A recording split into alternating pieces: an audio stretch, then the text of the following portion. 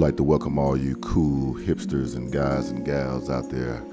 Welcome to Cisco Soldier Radio. In today's video, I'm going to recite a poem. It is called the Port Poem for all my guys and gals that's out there studying Network Plus.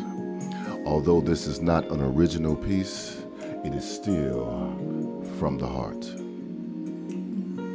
Using FTP file transfers are fun. I can use TCP 20 or 21. With port 22, I am feeling well, secure communication in my little shell. Telnet's the same, but more easy to see. Nobody likes you when you're port 23. SMTP is where Simple Mail thrives. It's transferred to servers with port 25. With DNS, I convert names to IP. I am able to do this with port 53. When I go online, HTTP is my hero. Browsing is made possible by port 80. If I want the internet to be safer for me, I am more secure with port 443. If I want to receive mail, I am sent. I can go to the post office in port 110. If internet message access is more my speed, I'll need to use port 143. If I want remote desktop access to be of my design, I remember the code is 3389 with UDP 137 in NetBIOS. I can search things by name and change my windows. Data transfer without connections can be pretty great. It can be done using UDP 138.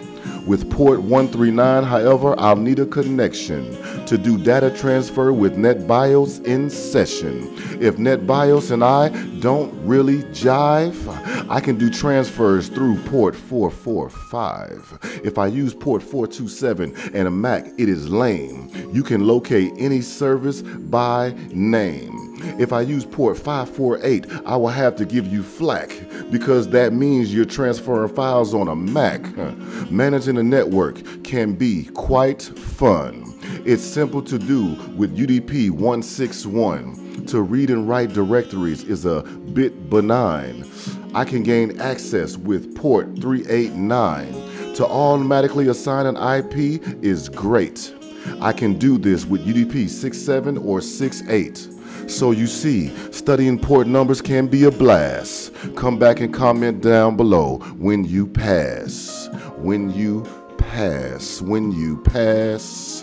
When you pass. Come back and comment down below when you pass. It is I says me, Cisco Soldier, aka Uncle Tre.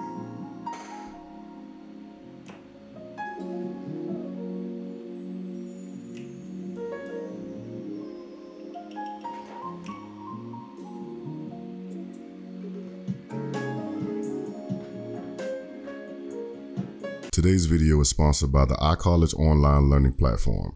iCollege is partnered with more than 26 top-level IT companies that provide vendor-specific certifications. iCollege offers structure-style training with organized and easy-to-follow content.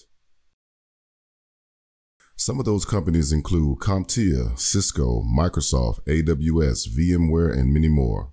The iCollege certification bundle packages offer practice tests, flashcards, and interactive labs that will assist you in conquering any IT exam on your first attempt.